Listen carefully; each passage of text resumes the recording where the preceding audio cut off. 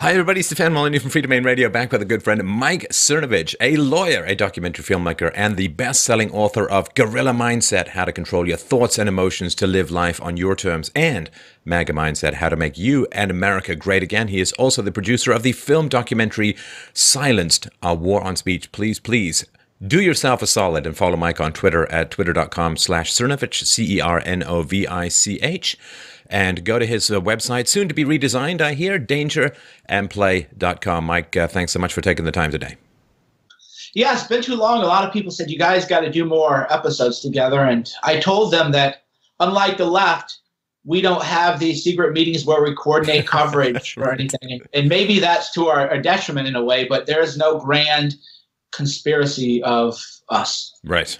So we'll be talking about the Gulag Archipelago. And this is a book by Alexander Solzhenitsyn, which is the history of concentration camps in the Soviet Union. And to me, Mike, the world is divided into two people, at least in the West. The world is divided into those who have a freaking clue about the history of socialism and communism, and the people who don't.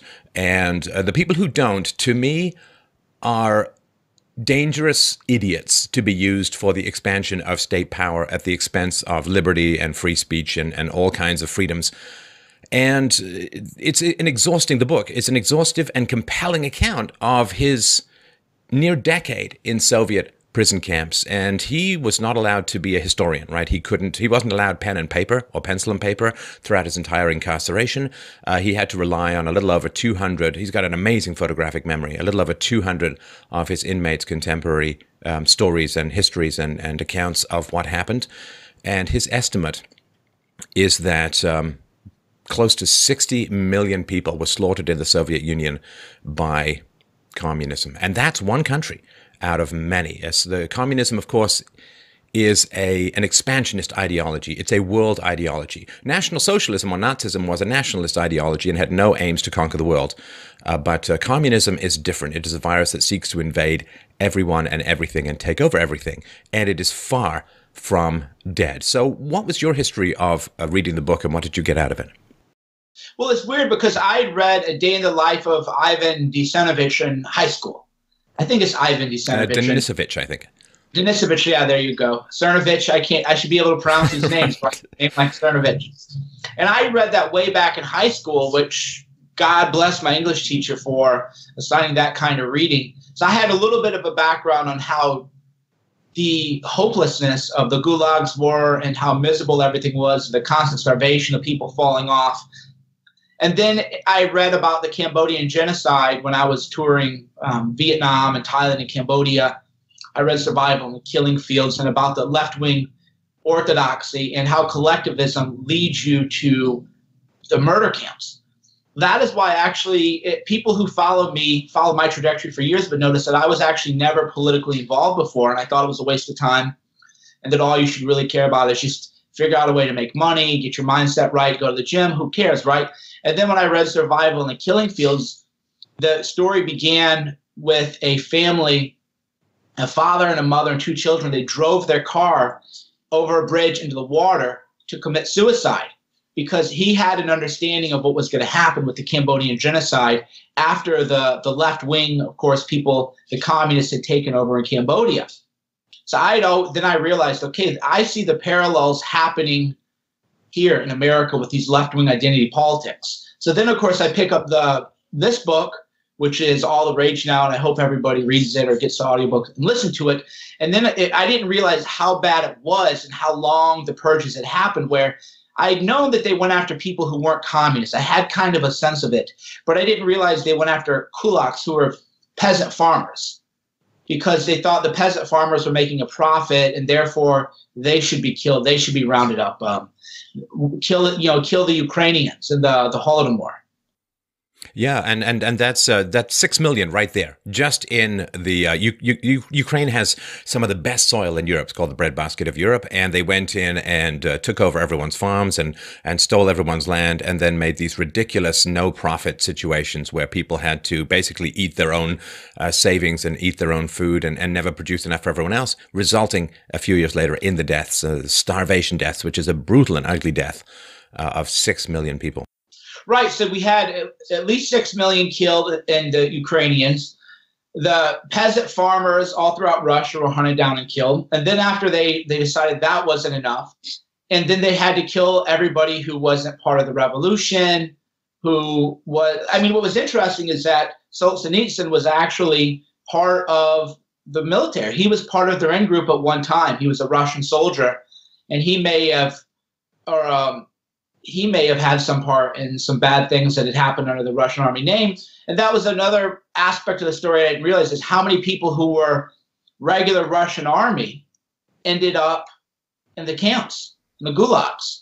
The, well, in particular, know, the, after the defeat um, that was inflicted by the Germans uh, on on the uh, Russian front, uh, there were huge surrenders, like over 100,000 troops surrendered in one battle and, and 80,000 in another. So Stalin looked pretty bad. So one of the things he wanted to do was when he got these uh, soldiers back, he was concerned that uh, he was going to look like a bad military commander for losing these battles. Also, he was concerned that the Soviet troops had seen the wealth in the West and were going to come back and talk about it.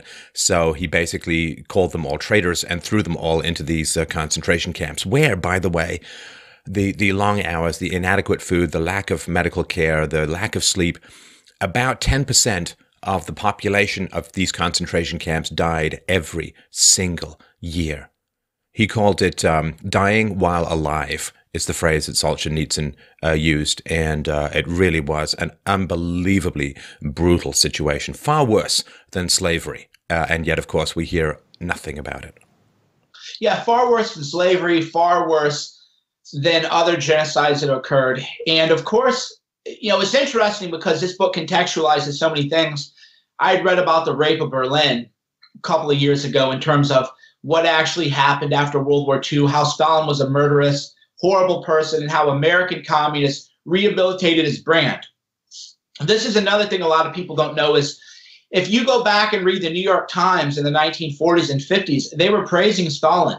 Time magazine had him on the cover, Man of the Year. He was called Uncle Joe, Uncle Joe Stalin, and they were covering up his war crimes. So right after, um, uh, right towards the end of the war, World War II, the Soviet army came in, and it was called the Rape of, Rape of Berlin, where every woman aged 8 to 80 was raped. They actually dragged out mattresses into the streets. That's how prevalent the rape was. You wouldn't even, it doesn't even sound real because it is so horrific, but they're detailed historical accounts if you look at uh, suicide records and abortion records, something like 10% of women committed suicide after after that had happened. So the rape of Berlin had happened, and there was a story in there where three uh, Russian soldiers were actually going to rape a girl who was a German girl, which would have been okay, but they ended up getting thrown into the gulags because one of the girls they were going to rape was the what they called the campaign wife of one of the secret police type of commanders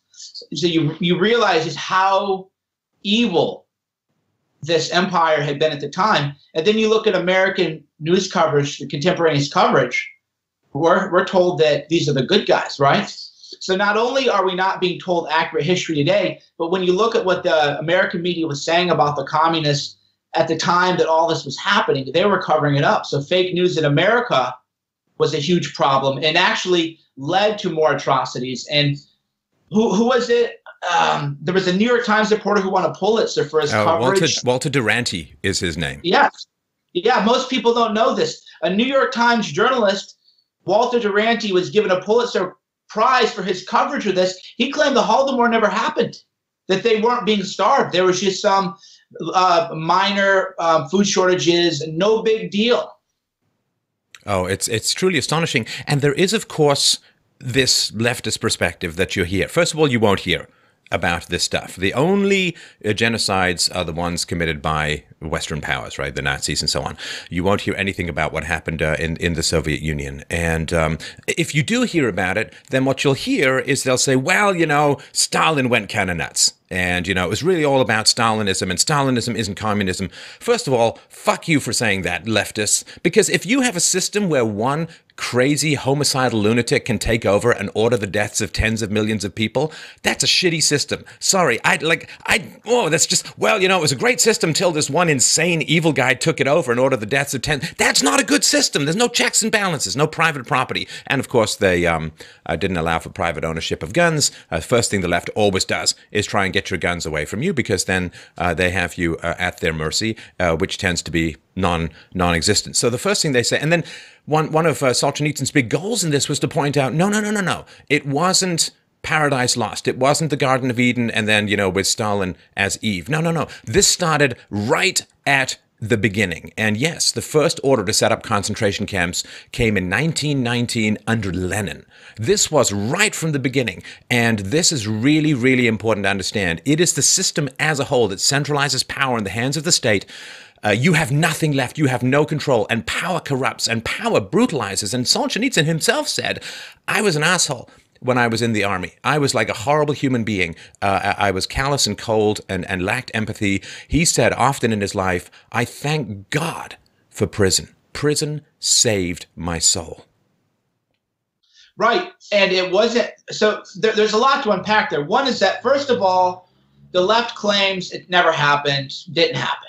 Then when they lose that argument, they go, well, it was just Stalin was a crazy guy. Well, what about Mao? What about Pol Pot? What about Castro? What about Che, right?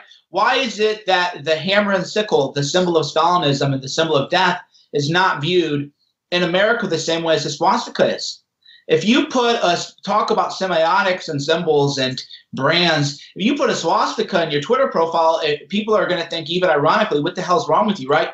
All these people, though, they put that hammer and sickle, which that that's what this stands for. That is what this stands for. But you're not going to be fired from a job in a media company. You're not going to have your life ruined. The, the fake news in America is not going to write stories about you and say, how can you put your stamp of approval on and associate with people? They, in terms of evil, we have a problem talking about degrees of evil. But there's no question that Stalin, Pol Pot, Mao, were as evil as Hitler, and they actually killed an order of magnitude. Well, not Pol Pot, but collectively, Pol Pot only killed, you know, 25% of the Cambodian population.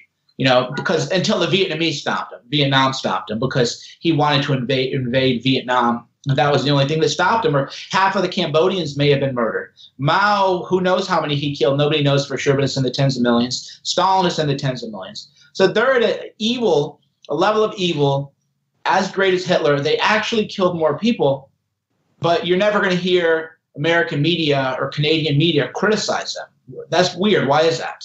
Well, I mean, it's um, it's worse. It's always worse than than people think. And I was um, yeah, I had a great English teacher too. Handed me a copy of uh, Ivan Denisovich when I was in junior high, and I read that, and then moved on to to Solzhenitsyn's uh, books and read read other books.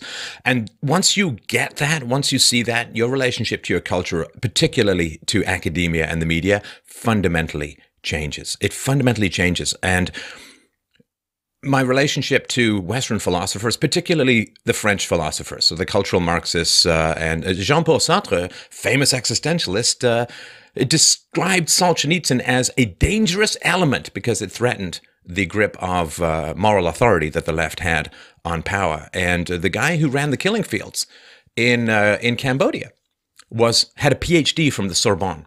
Uh, he was thoroughly steeped in uh, Western uh, leftism. And so uh, w- once you understand that and you see, like I remember being on the debate club and seeing a guy walk in, he had a little button of Marx, uh, Karl Marx. And it's like, are you kidding me? Like I remember cornering this guy and saying, "Do you do you, do you know what this guy did? Do you know what this guy is responsible for?" Credible estimates put the deaths of communism. Well, who knows? But it's well well north of 100 million and could be as north of 200 million. Uh, whereas the entire Second World War, uh, including combatants, uh, was uh, was 40 million only. And here's the thing in war, at least you get a chance to fight back. Uh, uh, under communism, they come in the middle of the night, they demand that they, they, they drag you out. They, they searched. The guy, guy had an, his infant baby who died from starvation. They dumped the body out and searched through the coffin of his baby to find incriminating evidence. The, the, the, there were 31 torture mechanisms that they could use, uh, which were unbelievably brutal. Women who were arrested, uh, women in these concentration camps, were regularly raped. They took criminals criminals and put them in charge of concentration camps. Because if you were an ideological criminal, you were an enemy of the state. In other words, if you disagreed or questioned anything about communism, you were an enemy of the state. But if you were just a regular old rape and murder criminal, well, you're a victim of capitalism and, and profit, and therefore you were totally fine. And, and they, you don't have a chance to fight back with the left. They want to disarm you and they want to put you in a category which is the opposite of human, the opposite of moral, wherein everything they do to you is justified because of the innate evil of your category. It's unbelievably dangerous and speaks back to that point of identity politics that you're talking about. That if you're in a particular category, white male or whatever it is, a capitalist, a profit seeker or whatever, you're portrayed as so evil that every injustice and evil that is done to you can be twisted into a form of self defense. Yeah, it is um, appalling. And that's why people thought that I was joking when I go, this is a life or death election with Trump for me, because I was going to leave America. And people said, oh, you're just being a troll. And the next thing you know, people are being hit, women are being pepper sprayed merely because they want to watch a college talk. One of the persons pepper sprayed wasn't even a Trump person, said, make Bitcoin great again. It was just a hat spoofing Make America Great Again. She was pepper sprayed that's why when I tell people this is life or death, the left is feral, the left is violent. If we didn't have guns and Hillary Clinton had been in office, we would be on our way to death camps. There's no question about that. People go, well, I don't believe that. That sounds crazy. Okay, well, let's let's reason it through. If you're in Germany and Angela Merkel is a hero of the American media. Remember, they they're trying to say the the only survivor and whatever of the West, the bastion of the West, is Angela Merkel versus Donald Trump is some primitive guy. If you're in Germany and you question official narratives, you can be arrested and enslaved by the state. So tell me how that is any different than Stalin's Gulag. Thought the only crimes. difference hate speech are intellectually uh, category evil thought crimes. Exactly. And the only difference between what is happening in Germany today and what happened in Stalin's time is the scale is much smaller. People in Germany are so afraid that they know better than to speak out. But if you can be arrested for merely questioning official narratives, if you can be arrested for having wrong think, bad thoughts, for saying the wrong thing, how tell me how that is any different than putting people into re-education camps. There's no difference. Well, that is what people want here in America they want hate speech to be not protected. They want to say, can you punch a Nazi? And moreover, everybody that we don't agree with is a Nazi, and therefore they can be the victim of physical violence. We see that every day. Now in America, the parallels are ominous. There's no question that if the left took power and were able to disarm Americans, then we would have death camps in America. Well, I think this is um, something that, that people need to to remember and, and understand the, how much infiltration has occurred from socialist communists into particularly the uh, educational system and particularly, of course, universities. I remember um, knowing the history of um, USSR, the Union of Soviet Socialist republics, socialist, socialist, socialist, right? And this is why they have to use Nazi rather than National Socialist because they don't want to harm the brand of socialism. So when you have someone like Bernie Sanders running, socialist, the same, like it, it is the equivalent of somebody from the Nazi party running. And people don't understand this. They also don't understand the suffering that these kinds of policies are put in place, even closer to home, more recently in places like Venezuela, where people are dying of starvation and people are dying of lack of health care. And the government is actually coming in with guns to take over bakeries because uh, apparently having guns pointed at you doesn't make you a whole lot more productive as a baker and they're running out of food. And I remember when I first was in university and I, I took a course uh, called The Rise of Capitalism and the Socialist Response because I was more interested. And I, if I remember right, the teacher, the professor, an out and out communist.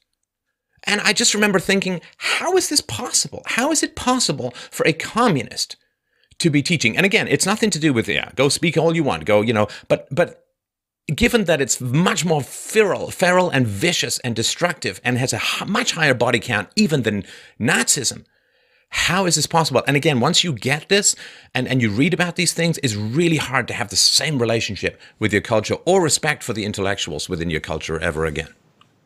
In the media, there was another great book that I started to read about an American baseball team, and they were communist idealists, and they went to move the forgotten i think it's called. Either either the forgotten or forsaken. It's a great book. I haven't finished it. I need to finish it.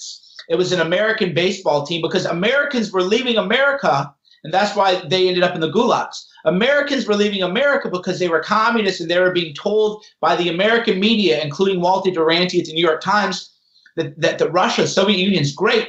Go over there. They would go over there their passports would be taken once they enter the country, and they would often enter um, in the gulags and the death camps too. That is another reason why I have no respect for American media. And when I say that I'm it's my adversary and that I want to see it fall and fail, that is why. Because they want us to live the way they're living in Venezuela, the way they were living in Castro's Cuba, the way they were living in the Soviet Union. They don't support freedom, they, they don't support prosperity they want to centralize control of information. I mean, we can even see it now. I mean, it's beautiful when you have proper worldviews, a proper philosoph- philosophical view. And this is why you don't teach kids philosophy, you don't want to think. Right now, the media wants to centralize news and information. People like you, people like me, people like Paul Joseph Watson, people maybe who say things that are a little bit off the wall, other people I won't name. Who cares? Why can't everybody speak? But now they want to keep get them websites banned from Facebook, banned from Twitter, banned from YouTube, because anybody who isn't part of that central collectivized narrative is an enemy. So you think about it, government ownership of capital, centralized ownership of capital. You understand then that the real category between right and left is centralized power and control versus localized power and control. And the question I posed you uh, that I don't even know the answer to couple months ago, I think, when we were doing podcasts, is why is it that the left are so prone to violence versus the right? And I was kind of thinking of a Confucianist expression, which is the long, the long stalk gets the the lawnmower or whatever. That's not. I, I oh, the tall poppy gets uh, cut down, or it's the it's the nail right. that sticks up that gets hammered down. Right, right, exactly. They're the that's the leftist mindset, the collectivist mindset, which is if you stand out, if you're exceptional, then you're immediately going to be singled out for attack. That's what happened with the kulaks. I mean, if you think about it, when the communists originally went after kulaks, they were peasant farmers. You and me and the people watching us, even maybe people who don't have jobs, would say, wow, I might be unemployed, but these kulaks, they had it rough. The life of a peasant farmer was unforgiving, long days, hot weather, they were viewed as having too much. They were viewed as being exceptional. They were being viewed as a poppy that had to be cut down. That is the leftist mindset in action is wherever you excel, wherever you're doing better than everyone else, they don't want to raise everybody else up. They want to cut you down to the level of everyone else. Right. There is on the left an inability to distinguish between high quality, medium quality, and low quality. And because, and this is part of the Dunning Kruger effect, like if you're not particularly good at something, it just looks easy. But there is a sort of mathematical equation that the left doesn't understand that in general, half your productivity comes from, from the square root of your workers, right? And you can look at, there's a great Jordan Peterson lecture on this, but if you have 10 workers, three of them are going to produce half of your output. If you have uh, uh 10,000 workers, 100 of them are going to produce half of your output. There is a bell curve in terms of uh, intelligence and, and, and uh, ambition and efficiency, maybe even of testosterone and dedication and so on. And so a small number of people produce an enormous amount of value within society. And and you can just sort of look back, you know, think of the painters of the 19th century. There were millions and millions and millions of people painting. We remember maybe 10 or 20. So entire fields, entire industries, uh, and all of society is like this giant inverted pyramid on the competence and intelligence and dedication of a very, very few people. So the fact that um, the sort of inverted pyramid of, of how much uh, rests on these people, the fact that they end up with a lot of money makes perfect sense. So the people who were the, the, the, peasant farmers, if you were better at being a peasant farmer, then you would make more money, which would allow you to buy more land, which would allow you to be more productive. And everyone benefited except the person in the short run you were buying their land from, right? Maybe they didn't do that well. And so because there's this lack of understanding of how productive the mi- tiny minority is in society, how much of society's wealth depends upon the productivity of a tiny, tiny number of people. They look at wealthy people, they look at people who are very successful, and all they feel is this Nietzschean resentment and this rage and this feeling of having been stolen from.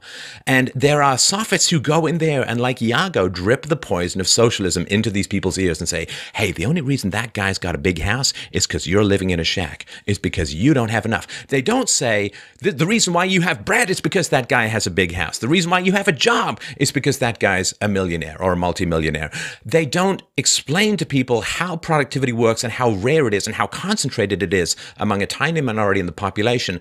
And therefore, they rouse all of this resentment and they say, we're going to go take back what was stolen from us. And they get everyone with pitchforks and they go up and they stab the guy to death and they take his stuff or they throw him in jail or they berate him on, on Twitter or whatever. And then what happens is, as we saw when they took all the land from the most productive people, um, within half a decade, 15 million people had starved to death because the wages of sin is death, and envy uh, and violence is a sin. Well, and you had done some of the only real analysis in journalism anybody in the West can find on South Africa, where you did the podcast explaining how the quotas meant that they had to fight. The quotas meant that if you were an engineering department, the number of engineers had to be proportionate to the different populations.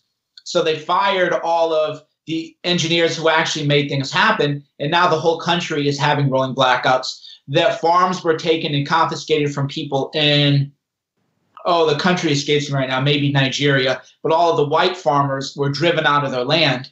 And now the president of that country is saying, we, we want the white farmers we want the white farmers to come back. We want the productive people to come back. So there's something about that resentment that people have, the lack of gratitude, not realizing that we are lucky to have highly successful, highly productive people. We're going to live in a world where we're going to get abundant benefits from a few number of people, and we should embrace that but it's an easier sell to be, go, well, hey, your life didn't end up the way you thought it would be, which is what we have now, of course, in America too, and why you can see all these parallels. Every day you're telling people you should have way more than you have now. The reason you don't have it is because of this group. And in America, we switched from economics, management versus labor, capital versus labor, to gender and race. So now it is the only reason you don't have anything is because of these evil straight white men. So now evil straight white men must be hunted down, must be attacked, must be fired from their jobs, must be punched in the face because obviously if you're a straight white man, you're a Nazi. You see it all happening here. And it can be a little bit frustrating. Who who was the um, the Greek curse? I think Cassandra, where you're able to see the future, but nobody would actually believe you, right? Mm. You're thinking you were this is happening here this is getting things are getting bad in America. You can't wear a Donald Trump hat down the street without being punched in the face. People might there'll, there'll be a death eventually. Eventually there'll be uh, murders from the left, killing people. You can't even do that in America. This is supposed to be the land of the free. We have free speech. What is going on? Well, I mean, you you plan a party and you've got a bunch of lunatics uh, threatening acid attacks and, and other things, who, by the way, I mean, let's just stop on this for a moment because I still have, sadly, the capacity to be shocked by this stuff, Mike. So the people who planned the attack on the DeploraBall, what the fuck? Community service? Erasure of, of the record of this criminal attack? I mean, I'm I'm I'm still appalled and shocked. Uh, can you just step people through this? I want I want this to to remain in people's heads as part of this whole conversation. Well, see, I am so cynical now that I was just even impressed that they were arrested. Right, I'm I was shocked that they were even arrested. So for those who don't know, I co-hosted an event in DC called the DeploraBall. It was prim and proper kind of event. It took six figures to plan. You know, it was a real financial risk and everything, and was never even made to make a profit. We just wanted to break even during inauguration week. So a number of people, three or four people, were caught on video by James O'Keefe and Project Veritas planning an acid attack on the party. By that, they were going to put acid into the ventilation system. And this acid can cause a lot of allergic reactions to people, wheezing. There were going to be pregnant women, of course, attending the event. Well, I'm sorry also- to interrupt as well, but they knew what was going into the vents your uh, the party members wouldn't have. I mean, they don't know if it's something that is really they get stampedes to the exit. People in high heels, people can get. I mean, a Who concert causes you know stampedes at a Who Who concert can get people killed. So uh, it is a very dangerous thing to do. I just wanted to mention that. Well, there would have been, they were going to set off the sprinklers too. So the idea was they were going to set off the sprinklers. They were going to put acid through the ventilation system where people wouldn't know what was going to happen. There are two doors out of the venue, and now you're going to have over a thousand people going through two small doors. We've all watched those videos of soccer events where people get pushed and smashed and killed. So it was an act of domestic terrorism was planned. They were arrested and charged with misdemeanor assault.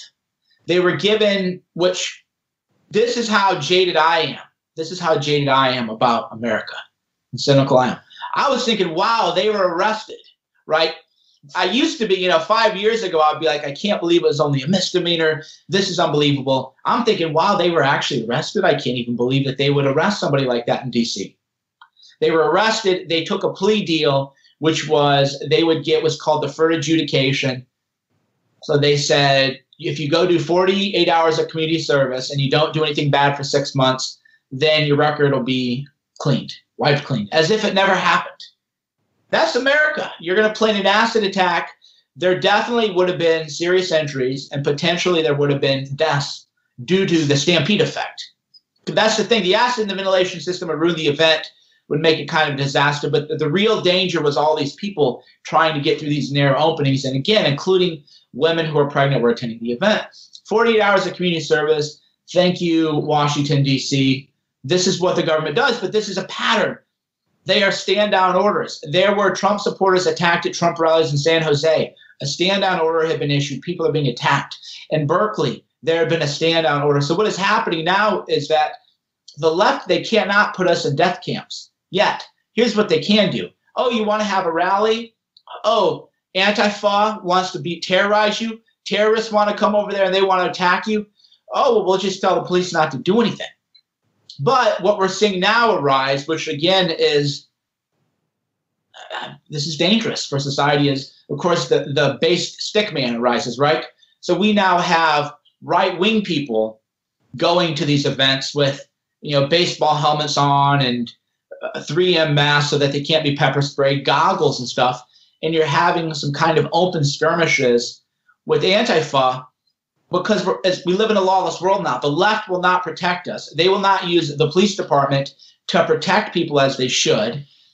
Now we're going to have to have people on the right form their own private protection squads, which is going to escalate the violence. And as you and I both know, violence never ends well. We want to try to wait. We want to try to prevent all this from happening. But again, this is all this is all the same here. Just because we're not in death camps doesn't mean that the state isn't trying to kill us. The state is trying to kill us because by refusing to prosecute those domestic terrorists who are going to attack the deplorable the way they should, they're sending a wink, wink, nod, nod. Hey, you know, if you guys want to go after these people, if you want to kill them, you want to hit them with the baseball bat, eh, maybe we won't even arrest you. If we do, you're going to get a slap on the wrist. That is the government getting private people to do the kind of work that Stalin would have done under his own government. Well, and compared that to the multiple felonies that uh, Based Stickman was uh, charged with, uh, and um, it's uh, it's a different world for the right and the left. And you know, people don't who not. I didn't say on the right, but people who don't conform to the leftist narrative, whatever they end up being politically, if you're not in that category of non-leftists, you don't have a clue what it's like out there being a public figure. Hey, feel like going to do a speech? Feel like going to do a, a, a, a, book tour? Hey, do you feel like doing a college speaking tour? Do you feel like just throwing a party? Well, it's kind of open season on you, and very few, if any, repercussions are going to um, be leveled against the people uh, who physically assault you or, or your followers. I mean, you know, Charles Murray out there trying to give a speech, they end up putting this female professor in a neck brace uh, with attacks, uh, attacking his car and so on. Uh, it is a, it is a, a sort of um, Hobbesian jungle out there for people not part of the leftist narrative. And if you're on the left, and you're part of it, well, you're an asshole, and you're you're as guilty uh, as in, in morally, at least in my mind, as the people swinging the the axe handles at people. And you don't understand what it's like if you're not part of the leftist narrative, what it's like to be a public facing uh, figure, uh, knowing that you, uh, you can take your life in your hands going out there and speaking uh, basic data. Yeah, if even if I try to hold a Gorilla Mindset seminar, I have to tell the venue in advance, hey, you're probably going to get a bomb threat called in. And they're like, well, what are you talking about? So even I, I can't hold the big kind of seminars that I should be able to hold because I can't get a venue for 5,000 people. Because if I got a venue for 5,000 people and I laid down the kind of cash it would take to have a kind of venue there, the left, they're going to call in bomb threats. They're going to pull the fire alarms. That's if we're lucky. If we're lucky, all they do is pull a fire alarm. If they really want to go at it, they'll put acid in your ventilation system. They'll hit you. They will pepper spray you. They'll attack you. And I don't see any kind of concern about that from the left. Here's what I hear from the left, and this is one thing that's always bothered me, right? I'm not alt right. But what I always ask people is show me people on the alt right who are pepper spraying people. Oh, these alt right Nazis are such bad people. They're evil people. They're terrible people. We got to do something about it. I hear that every day. Okay, great. Show me these alt right people who are out pepper spraying women who are hitting women, attacking women, fighting people, planning domestic terrorist attacks. They can't do it. So that again tells you that the left is completely morally depraved. I would have no problem. That's the whole thing. If, if people think you should be polite on Twitter, you shouldn't troll people. I would have some respect for that if that view were held uniformly to everybody. But the, as we've learned now with the left, there is no, they're morally bankrupt. They, there is no moral uniformity. They're not saying, well, wait a minute, these people on the left are really acting up. Maybe we should worry a little bit less about mean tweets on Twitter and more about the violent acts of the Antifa. You don't hear that at all. And it could be because of a defective brain. I don't know. Could be just pure evil. But at this point, I don't really care. The way I look at it at this point is it's a matter of survival now. And they are a warring army who want to kill us all. Well, and uh, plumbing into the motivations of a feral enemy can be debilitating for one's resolution for, for self protection. So, two points I wanted to make as well, because, uh, and I really, really, it's an 1800 page book. Uh, and I mean, what, what Solzhenitsyn went through to write it should never be underestimated. What an incredible risk he took. You know, he worked on this book at friends' places. There was a, a musician who was quite popular with the regime. He would go over to his place and work on it because the musician was less likely to be raided. The man had to bury the manuscript in his, uh, in his garden or in the woods every single night for fear that he was going to be caught and put back uh, in, into the gulags. Uh, the only way he ended up getting out of the gulags was he lied and said that he was actually a nuclear physicist. So he was transferred to a scientific gulag where he pretended to be a scientist for some time. Uh, he was an astonishingly brave man and had cancer uh, throughout some of this period as well. So he was like the, the, amount of courage and, and integrity, not just him, but everyone who protected him, everyone who helped circulate uh, all of this stuff. Uh, it's truly remarkable, and you need to read it. It's brutal and grim reading, but you know we we uh, we look at sick people so we avoid the habits that end up with us uh, on the deathbed. Where they came from in Russia was vastly different, and and Solzhenitsyn bitterly points this out repeatedly in the book, and rightly so. So here's here's a quote uh, from the book. Uh, and he was comparing the uh, trials and the mock trials, the show trials, and basically they would arrest you, and he's got a whole list of all the horrible things that they would do to you, all of the tortures, all of the. Um, it's the same thing that happens sometimes in the Western justice departments, where they say, "Well, you know, you can go to trial, uh, and we'll, you'll get ten years, or you can cop a plea deal and get a year or two years," and people just confess because not because of any system of justice, but out of fear and of the negatives, and uh, they would do this. They would they would tell your wife to come down to the um, police station uh, for some innocuous reason. And they would have a walk by. They'd say, You have to have your head lowered. You can't look up. And they would have her walk by. Uh, and they say, If you raise your head, we're going to keep you here indefinitely. She'd walk by. And at the same time, your interrogators would say, Oh, look, we've just arrested your wife. And if you don't confess, we're going to keep her here too. Or, or they would say, We're going to arrest your daughter and throw her into a jail full, full of uh, syphilitic men. She's going to get raped. She's going to get syphilis and die a horrible, lengthy death. And so this was the sort of pseudo justice system, they'd openly tell you, listen, we're going to find you guilty no matter what. So you can either confess and get half your sentence, or you can fight us and we'll send you to the very worst camp in the most remote area, uh, and it's going to be a death sentence. Nobody comes back from there alive. And so people would sign these these confessions. Of course, had nothing to do with justice. So he comparing he was comparing this to what happened under the Tsar. So here's a quote. He said, "Who in our fatherland, except some bookworms, remembers now that Karakozov, who fired at the Tsar, was provided with a defense lawyer. Can you imagine? The guy who shot directly at the Tsar was given a full defense lawyer and a public trial.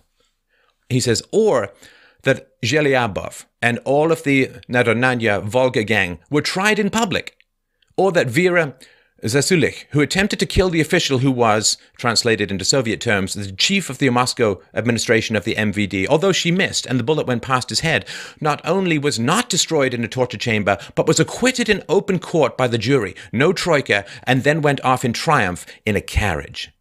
So this was happening before communism. There was uh, trial by jury. There were defense lawyers. There was a legal system that had very positive common law elements and wasn't perfect, of course. But compared to what came afterwards, what path Russia could have gone on if it hadn't been for these monstrous sociopath communists uh, taking over and, and destroying the, the country and destroying tens of millions of people, it's a heartbreaking thing to think about what could have been and they, and this was happening here. Was happening in the West. This was happening in America slowly but surely.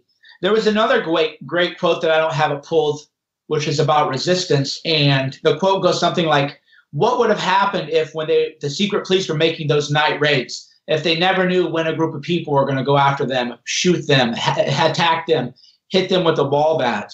It would have completely changed." And that was another it's always fascinating to think about this book. Why didn't people fight back? And it's easy for us to say, right? Why didn't they fight back? But now we're watching our own freedoms being eroded. And he says and openly, but there was one one town where a quarter of the citizens were arrested in one night. Right. And they would order you to tiptoe down the stairs so as not to wake your neighbors. And they would, of course, come in the middle of the night because they got the, the uh, arresting officers got bonus pay for night work, and also because you'd be dazed and delirious, and also you wouldn't sleep as a whole because you'd be fearful uh, of this. And there was a woman whose uh, her husband was an engineer. He was arrested and and killed, uh, murdered in in the torture interrogation, and she was sleepless for months until the Germans invaded, and then she could get asleep. Uh, and then the, the, allegiance that they had towards the invading German army, some of the people who were horrified by all of this, um, was was not to be underestimated. And Solzhenitsyn said, "Well, why didn't we fight back? Why didn't we push back? We didn't love freedom enough. We didn't love freedom enough." And also that old song, right? You don't know what you've got till it's gone. There will come a tipping point in the West as, as laws against free speech escalate, as the permission implicitly granted to the feral left by the powers that be to attack the enemies of socialist structures in the state, the deep state. There will come a time where it's too late. Uh, and then I think we'll all look back and say, why the hell didn't I do more?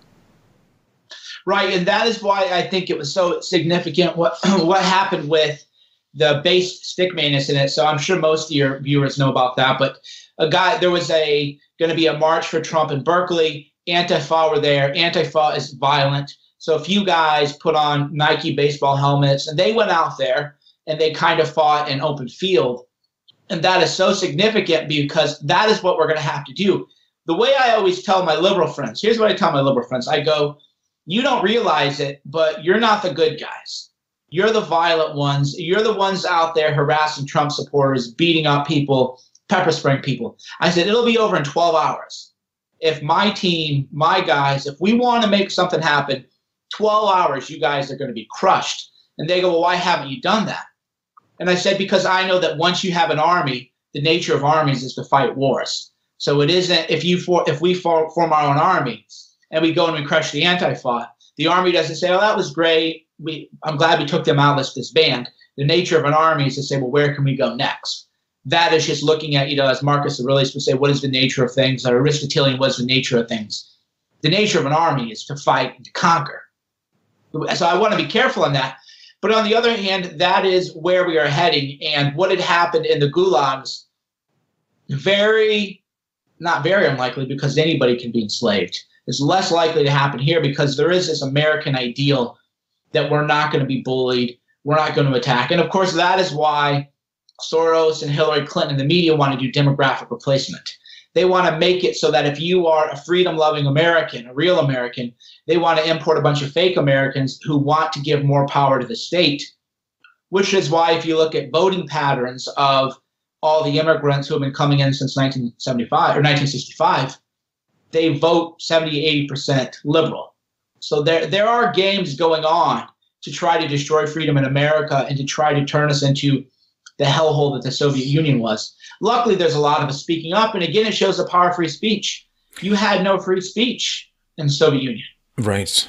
Now, there's something else which, you know, the 20th century to me is incomprehensible without understanding the, the um, genocidal tendencies of, of communism in particular and, and its lighter flavored uh, sort of uh, aspects, right? The, the, the whole point of socialism is communism, according to Lenin, and I'll take him at his word. He seemed to know what the hell he was uh, doing. But it's really hard to understand the history of the 20th century without understanding the pivotal role that uh, communist aggression played throughout the world and the genuine terror that Western companies had of Soviet aggression. So uh, it is an aggressively atheistic philosophy. Uh, it, it, has uh, as a significant enemy um, Christianity in particular. And just as happened with the French Revolution, when they got into power, the feral leftists, they got into power and they started murdering priests and nuns uh, by the tens of thousands. Uh, the same thing happened, of course. Uh, Christians were killed by um, uh, atheistic uh, elements within communism. And this was completely terrifying. Germany was a very religious country, uh, has been in general the most religious country up until the late 20th century that existed uh, in Europe, uh, very Christian, uh, the, of course, the seat of, of uh, Protestantism and so on.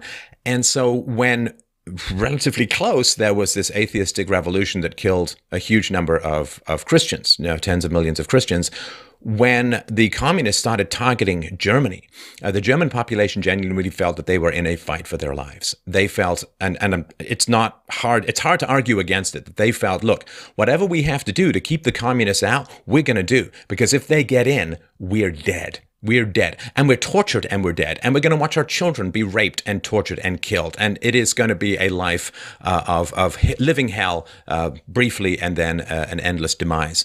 And without understanding how aggressive and how virulent communism, communism was in its expansionistic phases, it's really hard to understand why you know, these street fights, this destabilization of the economy and so on, why people might say, you know, that Hitler guy, kind of crazy. But, you know, if he can do something to keep us safe from certain death, I'll choose uh, even the totalitarianism of National Socialism over the near certain death of communist dictatorship. Yeah, I actually wrote a satirical article, which is how to create a fascist dictatorship. And I made a lot of those same points. I would say if I wanted to create a fascist dictatorship, I would tell the police to not protect Trump supporters. I would try to silence all free speech. And the punchline, of course, is that everything the left is doing would lead to a rise of fascism in America because fascism arises when the state will no longer protect the people. So then somebody who promises to protect the people says, I'll replace the state, and then I'll be the chief protectant. Uh, which again is why political violence is such a fascinating, nuanced subject that most people in media are simply not intelligent or educated enough to have. On the one hand, it's great that we have these cultural icons like Based Stickman coming out and fighting Antifa. On the one hand, that's great. On the other hand, if that becomes widespread, that shows that the government, who, if we're going to have a civilization, they ha- are supposed to have a monopoly on force and a monopoly on law and order, and that is a power that people delegate in a civilized society. Which you and I might not necessarily agree with that, but that's just kind of the way it is. If the government won't do the basic job of providing equal protection under the law, for people of all political views, then that is going to create a vacuum. And then you will have a fascist type figure arise in America. All the conditions are being made right for fascism, not by my side, not by the right, but by the left. And the only value that I think we can try and excavate from these tens of millions or maybe even hundreds of millions of bodies that uh, communism and, and extreme elements within socialist thought stand upon, Mike, is to me, it's a basic sociopath test. Uh, and this sounds a very strong way of putting it, but I, I, genuinely believe this to be the case, and it's been borne out in my life experience, which is not final proof, but it's something worth thinking about. So, I couldn't help, and I remember sleepless nights uh, after I read this stuff, just haunted by the unbelievable amount of suffering and, and brutality and violence and torture and rape and viciousness. It is a Dantean circle of hell that seems to have no bottom when you get this kind of power and this kind of uh, destruction is unleashed within society. And it's a thin wall that holds it back. It's a thin wall that holds it back. The moment that there's that tipping point, it's amazing how quickly society can slide into um, unbelievably brutal totalitarianism. There's no inoculation that has protected every society throughout history. It all tends to be that way. Things fall apart. The center cannot hold. So to me, it's a basic sociopath test that if you talk to someone about the Gulag, uh, the Gulags, uh, and and the documentation of how many people died and if they start justifying it, or if they start defending it, or if they, well, it was just Stalin, or it's not real communism, and so on, to me, it's like, no empathy. No empathy. Listen, tens or hundreds of millions of people were starved, beaten, raped, tortured, murdered in wars, murdered by the state, buried in graves. You know, when, when the Germans came in, they started digging in to, to bury their own dead, and they couldn't find places to put their own dead because there were so many mass graves in the cities and towns where they tried to to dig to bury their own dead. And so if someone immediately starts doing that lefty programming of minimization and focusing on Stalin or, you know, it wasn't real communism, let's just try it again. Holy crap, like tens or hundreds of millions of people were killed. If you're not fundamentally concerned with how that came about, if you're just glibly skating off that that those mass graves, there's something fundamentally and seriously wrong with your capacity for even basic humanity. Yeah, I don't think anybody would consider me a particularly emotional person, but when I read the book Survival in the Killing Fields, I was on a plane and I actually started crying.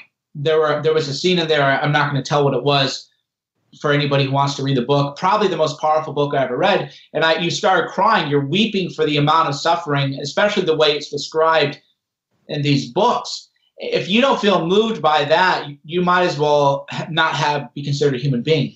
You have you have no humanity, and it is an indication of the, the true evil that there is in the world. And what a lot of people are starting to realize is that a large percentage of sociopaths are in media because if you're a decent, honest person, working in the media world is terrible because you're around the most vile, disgusting people that you're ever going to encounter. In terms of journalists, they are bad. I would say nine out of 10 people who are at mainstream publications are legitimately bad people, legitimately dishonest, legitimately sociopathic. And if you're an honest person, a person of good moral character, you're going to enter into this profession and you have to choose to be around these people and that's another reason our message doesn't get out as much as it could. It's very hard for people like us to want to be around and associate and work with those kinds of people. We have to fight back, though. And this, um, I think, what you were talking about in terms of uncorking the uh, violent potential of um, the non leftists is a great quote. It's a famous quote from the book, but I wanted to mention it here. Solzhenitsyn wrote If only there were evil people somewhere, insidiously committing evil deeds, and it were necessary only to separate them from the rest of us and destroy them. But the line dividing good and evil cuts through the heart of every human being, and who is willing to destroy a piece of his own heart? And if the right gets tempted into violence, my concern is that you know the old thing: be careful when you fight monsters that you not become uh, a monster. I know you know your Nietzsche based on your the name of your blog, but uh, it is uh, you know except in an extremity of self defense, uh, I still think, and I'm still very dedicated. Uh, to to the war of words, you know, we don't want to add that s to words to make them swords. The war of words is still where we can win this thing because when you start uncorking legitimate uh, legitimacy, even in self-defense uh, for political ideals, it is really hard, as you point out, to to stop that ball, that that snowball that turns into an avalanche once it gets started. Yeah, you tap into your own. All of us are ultimately, we all have a dark side, and it's better to live every day not in that dark side. But once you are, because I've known this, I've been in fights you don't get into a fight and think, okay, I got in a fight to beat the guy. You feel that rush of adrenaline. That's what happens with people everywhere you go. And once you have that rush of adrenaline, that modifies your behavior, your preferences, and over time, your character. That's why I'm re- as much as I hate to use good guys and bad guys, I occasionally do. The left certainly are the bad guys. But if the right had to form an army to fight the left, you might start off as the good guys but the way you're going to end is going to take you places that you never wanted to go, which is why, again, free speech is so important. If the left, though, keeps shutting down the right, they are going to they're going to face violence. But once Robespierre, right? The French Revolution. You're putting people in the guillotine one day, the next day your head's in the guillotine. It's better that we don't go down the path of violence and we continue arguing because that is what. Here's what I always tell people: all I need is free speech. Don't play games with my Twitter profile. Don't shadow ban. Don't do anything because I believe that truth is on our side.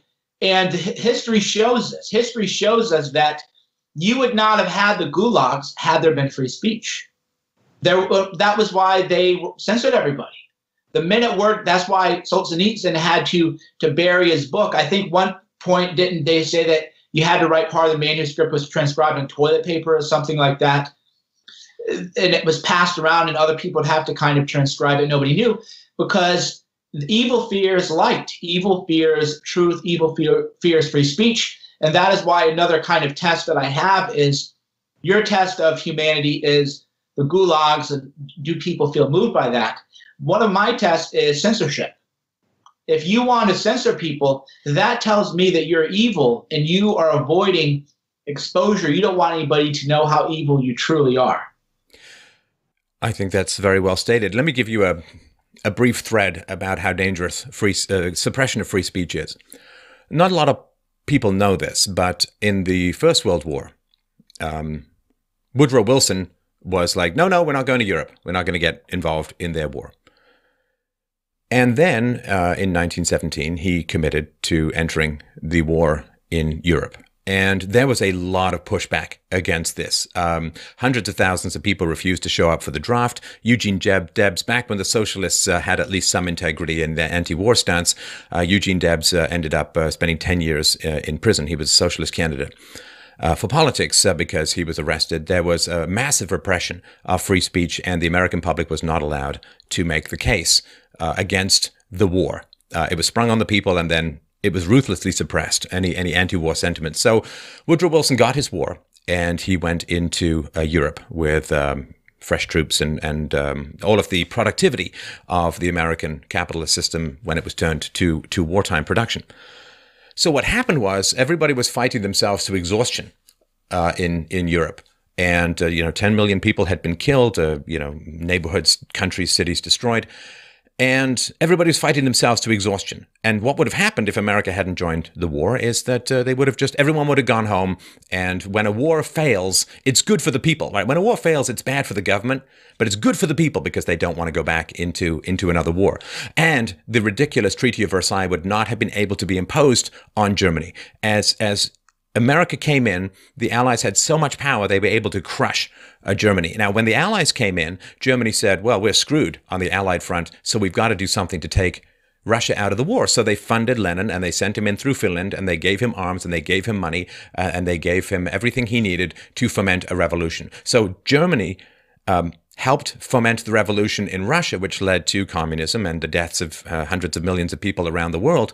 Why? Because free speech was suppressed in America and you could not legally make a case against like to prevent America going in the war or have it pull out after it got into the war. That's the kind of dominoes that start to happen and given that the First World War arguably led directly to the Second World War, as, as General Foch of the French army said, this is not peace. This is not peace. This is a armistice for 20 years, and he turned out to be right almost to the day.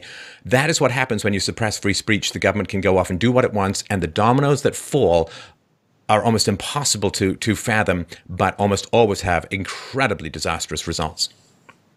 Yeah, I always ask people why we enter World War One nobody has a really good answer for that. World War II, you could say, well, there was Pearl Harbor, and then Hitler declared war on us, and you were fighting Nazis. You can kind of create cause and effect. World War One, nobody has a good answer because we had no business there. And as you note, trench warfare. I mean, if people want to ever, maybe I don't want to trigger too many people. If you ever want to have a sleepless night, read about trench warfare during World War One. Read about how people were sent off to run through no man's land and their faces were shot off with machine guns because the generals, as they say, fight today's war using the methods of the last war. And they were still doing infantry style charges across the front lines, even though they were now machine gun bunkers. They were all, as you said, exhausted. They were all dug in in Europe. It would have been over. Everybody would have gone home. But the US, we had to intervene because, again, you can't sell war to the people. Think about the whole concept if you have to have a draft, right? Why in the world should you have to have a draft if it's a just war? You had to have a draft for World War One. You had to have a draft for World War Two. You had to have a draft for Vietnam and Korea, because it's very hard to make a case for war with the people, and that is why censorship is so important. It's a great quote from Hermann Goering right? Uh, World War One fighter ace and head of the Luftwaffe in the Second World War. He said, "Why, of course, the people don't want war. Why would some poor slob at a farm want to risk his life in a war when the best that he can get out of it is to come back to his farm in one piece?" Naturally, the common people don't want war, neither in Russia, nor in England, nor in America, nor for that matter in Germany. That is understood. But after all, it is the leaders of the country who determine the policy, and it is always a simple matter to drag people along, whether it is a democracy or a fascist dictatorship or a parliament or a communist dictatorship. Voice or no voice, the people can always be brought to the bidding of the leaders. That is easy. All you have to do is tell them they are being attacked and denounce the pacifists for lack of patriotism and exposing the country to danger. It works the same way in any country. And that requires that the governments hold a significant edge. Doesn't have to be perfect, right? You can still have somewhat free speechy stuff, but when people when there's a fuzzy edge to free speech, well, I don't know if this is going to get me in trouble or not, so I'm going to be cautious that self-censorship that occurs with people when there's these fuzzy hate speech laws where nobody really knows what's going on and nothing is objectively defined and so on. That is where we need to push back against the language of those in power that drags us to the very edge of the volcano of war. And as that erodes, man, our fundamental protection is language. After that, the best you can hope for is to get home in one piece. Yeah, 100%. Their compelling case for war can't be made. The compelling case for mass immigration demographic replacement can't be replaced or can't be made. That is why they want to censor conversations on immigration in Germany. They want to censor it on social media. They're using the same kind of tactics because you can't sell people on the idea that your way of life is going to be destroyed. I mean, the great example is the Turkish president is now telling Turkish immigrants, go, I'm going to send more of you to Germany. Take it over, repopulate. You are the future of Europe. Well, you can't have those kind of conversations in Germany because if you did, the German people, even as brainwashed as they are, would finally realize okay, this is an invasion. The same was true in America. There was actually a rape that happened in, I think, Twin Falls, Idaho.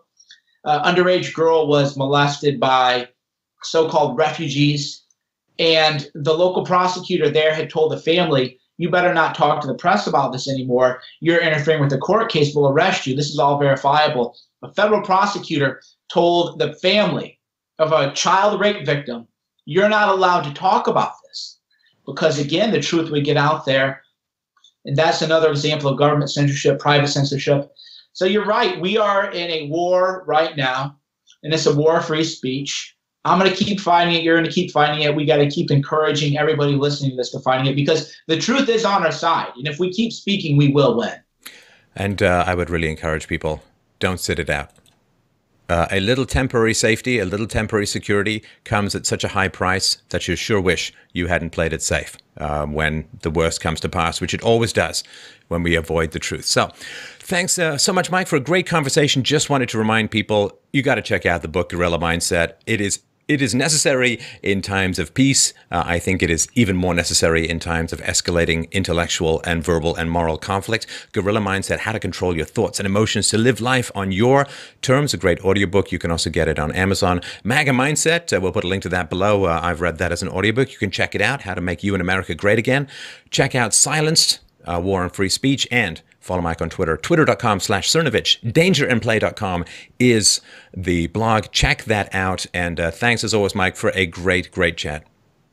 Always a pleasure. We might actually have another chat in a week or two, depending on how something that happened works out. So we'll I, uh, I, I look forward to that too. All right. Take care, man.